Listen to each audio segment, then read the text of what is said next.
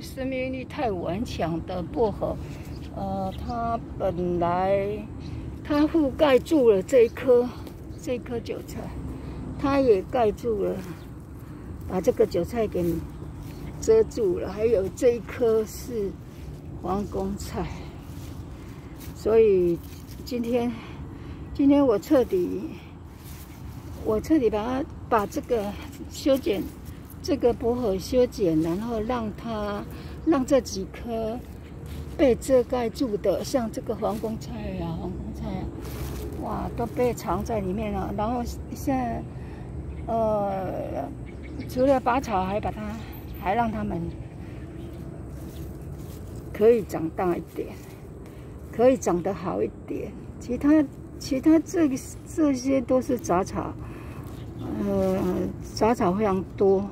然后，呃，呃，薄荷生命力非常的顽强。嗯，可是薄荷它有一个味道，它是可以驱虫。我很喜欢这个味道。嗯，它也很好种。你看看，然后这个，然后这个，这里有一颗。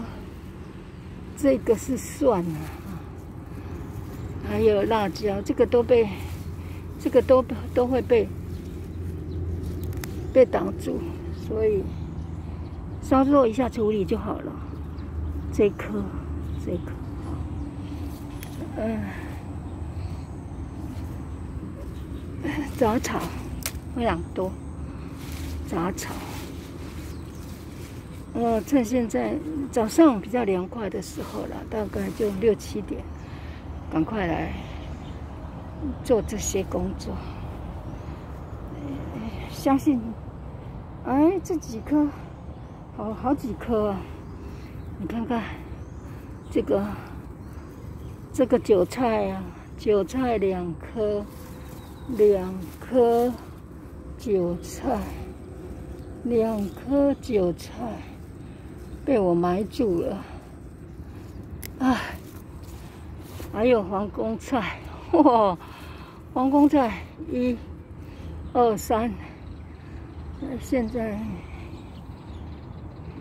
一二三四五，还有五颗都皇宫韭菜，皇宫菜。